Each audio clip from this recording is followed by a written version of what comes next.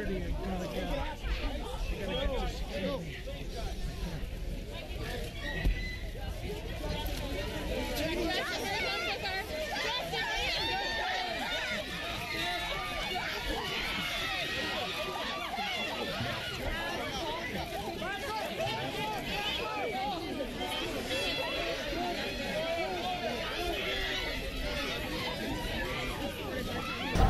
Well, actually, Aaron, I can tell you that here in Toronto, I've covered a lot of stories involving our mayor, Rob Ford, who's had a lot of media surrounding him. And I can tell you that the scrum around Justin Bieber as he pulled up to the side of the police station here was 10 times crazier than anything I've been involved in. And what happened was police brought him to the side door of the station, basically locked arms and basically created a path for him to come in the door. And in the midst of that were, of course, the news media, entertainment media, and then a lot of fans who've come down since this news first broke around 5 o'clock this afternoon. So more than 100 people swarming around this car. It was just quite an incredible scene. And in the midst of that, Justin Bieber coming in to present himself to police here.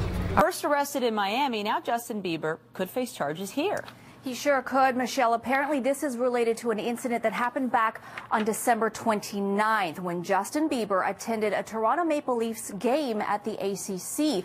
Now, a limo driver had been allegedly assaulted after that game. At the time, police said that they did believe Bieber was in the limo, but it was unclear whether or not he or a member of his entourage were actually behind the alleged attack. Now, he will be photographed and printed and then charged with assault. He will be released after he signs a promise to appear.